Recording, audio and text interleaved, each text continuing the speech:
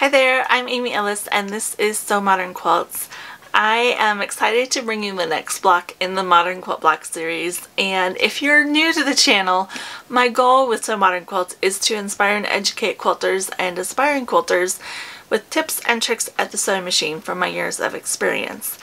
And the Modern Quilt Block series is all about showing you how to explore and find blocks that you want to make and then make them. So I'm giving you all those tools. If you haven't yet, go to the link in the description below and download the free block for this week and get started. So this week we are sewing floating. And I love the idea of the floating square in the center and also using some of the big scale prints. My pieces for floating are all cut and ready to go, so let's get started. As I was selecting fabrics for my floating block, I decided to go ahead and use some of the larger scale fabric that I've been stashing for this project simply because I have a larger piece of fabric to show it off in and wanted to make sure that it got used that way and used well. So something to consider as you're selecting your fabrics for sure. Now this one has bias and by bias I mean this edge is cut on the diagonal and tends to be stretchy when you're sewing. What I did to make sure that these are the easiest to sew with as possible is I've hit them with a little bit of starch as I was pressing before I even cut and I just use plain old inexpensive, easy to find starch. So to get started on this block, I'm going to remove a bunch of the pieces from your view so that we can get started. These pieces are cut a little bit big so that you don't have to cut eighth of an inch because as a pattern designer that's one of the complaints I get most often is I don't want to cut that 7 eighths or 5 eighths. So we eliminated that by cutting it up an extra quarter or eighth of an inch and then we're going to trim it later and I'll show you exactly when and where to trim. So we're going to take our background squares and I'm laying the square over the top, oops, over the top of the triangle because I want to start sewing here and sew towards this point. And that's the best way that I have been able to get a good clean seam. So I want to make sure that you guys have success.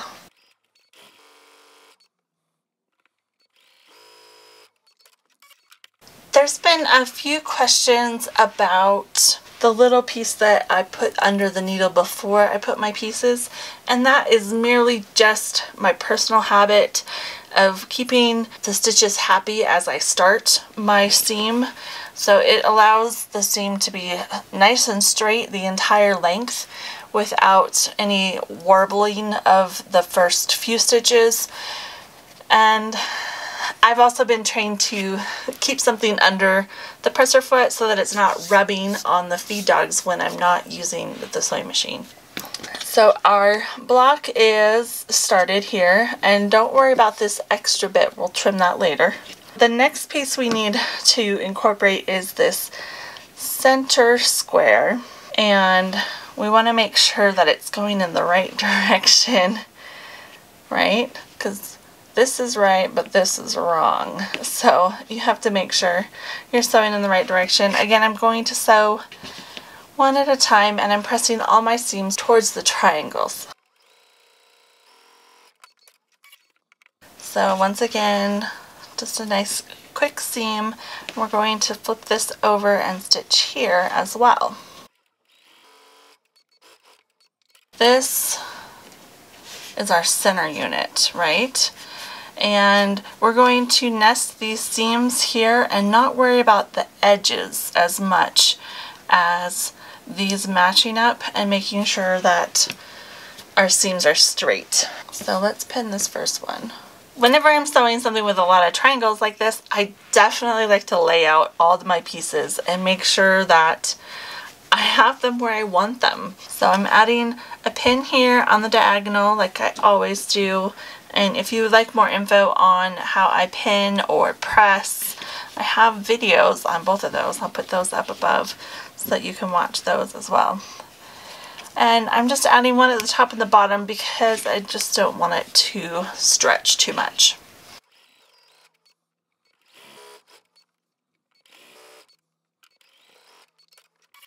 All right, so here you'll notice there's a really big seam allowance here and that's what we're going to trim up later. So don't stress it.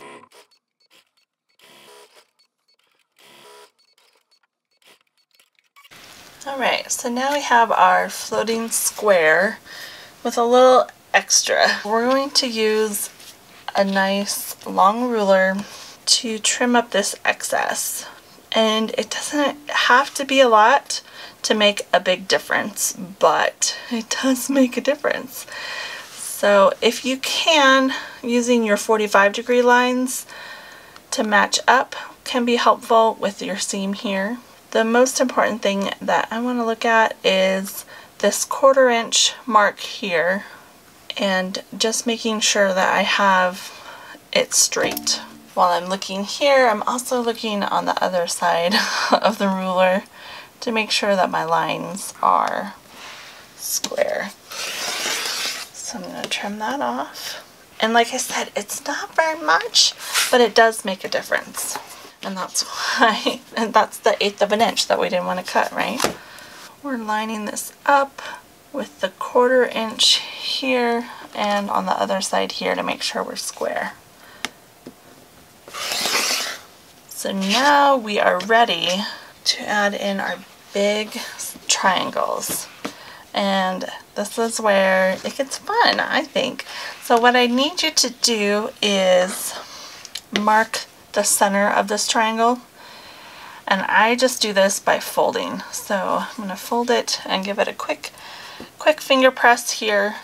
And then this is where I want to line up that center mark with the, the, the center point on this center unit. Oof, that's a lot of centering, but it should go together pretty simply at this point.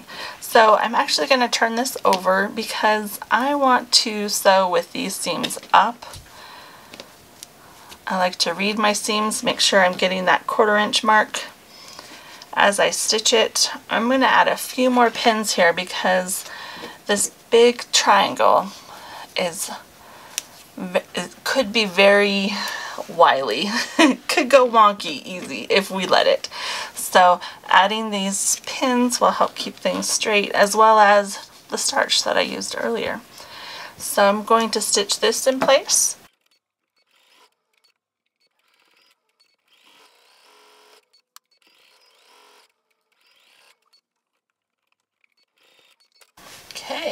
So that is looking good. I've got our point here, not cut off, and we're sewn all the way out to the edge of this square. So we're going to repeat and mark the center and then sew the opposite side. Here I've added one more pin to keep my edges lined up even after this one comes out.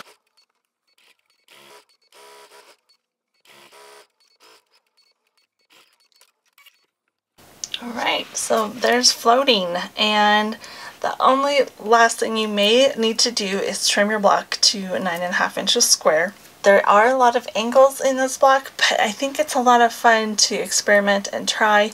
And you'll see in some of the layout options that there's fun things that you can do with color placement as well.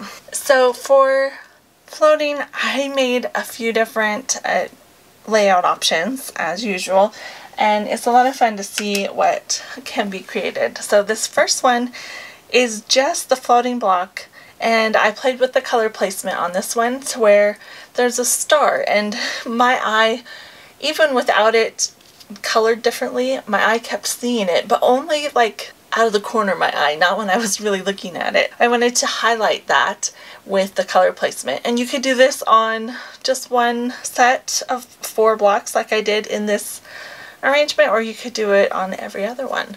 So it's up to you. Next I mixed floating with Star Zone and you get some really unique shapes there. I like how they play together. And floating and triple third is more of a, a modern points a sort of situation. It's really cool and unique and I think playing with the color would be a lot of fun on that one. And then floating and cartwheel are also a lot of fun together. You get the square playing together. It's kind of like ribbon candy almost. Uh, and they play together really nicely. There's a lot that you could do. I would love to know your favorite option and or maybe if there's another one that you want to experiment with. I'd love to see that too or know what you're know what you're up to with the block that way as well. If you haven't yet, I'd love to invite you to subscribe to the channel and be notified when the next video is available. I am adding a new block pattern every week and would love to sew with you. Give the video a quick thumbs up for me and share in the comments below what your plans are with floating. I look forward to stitching with you soon.